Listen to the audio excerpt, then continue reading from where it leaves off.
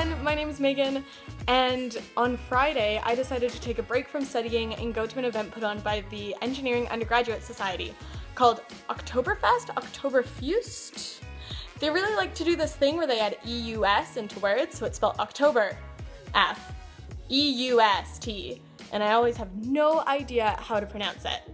So this was a really fun chance to go and hang out with some of my friends, especially those that I met at work during the summer at Gearing Up, and also hang out with some of my friends from class and get to see them in a setting much different than how I usually see them during lectures. So there was a little bit of drinking, a couple of games going on, there was a DJ and dancing, and overall it was just a really fun time. Today's Friday and I had three assignments due and a lab due, which means now it's time to go and relax and enjoy myself.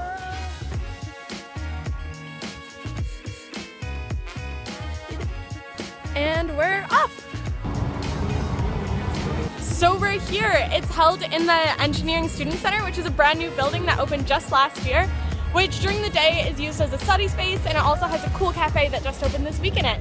But at night they also use it for cool events like this.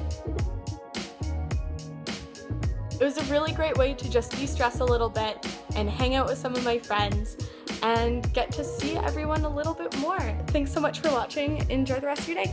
Bye!